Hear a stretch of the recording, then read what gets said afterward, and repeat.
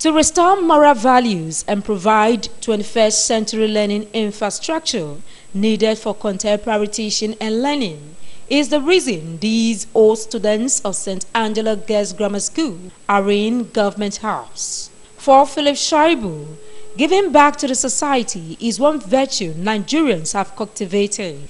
This, he says, is rewarding and will help contribute to the development of the state and the country in general to create that ambience of learning because it's by the road yes. so that will not they will not be distracted.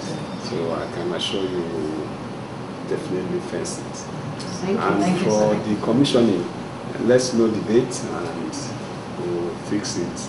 I'll try and be there. Earlier, the old girls, one of whom is a zonal director, NTA Benin Network Center, Pauline Igbano, appealed to the state government for assistance in the area of perimeter fencing so as to protect the facilities the old girls will be commissioning in the school. We have done a lot of projects on ground. We have come to let him know how far we have gone. We worked on the school library.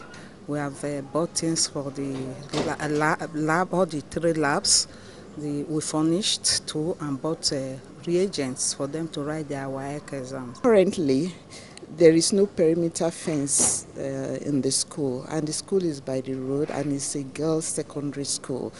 The old girls on their own too, they've, they've also done a lot of interventions in uh, renovation of the library, the laboratory, and provision of uh, uh, uniforms and uh, shoes and even payment of school fees to some of the indigent uh, students. They lauded the state government's efforts in the area of sports and education. The St. Angela's Girls Grammar School was founded in 1964. It has a population of about 700 students. In Benin, Elizabeth Amako, NTA News.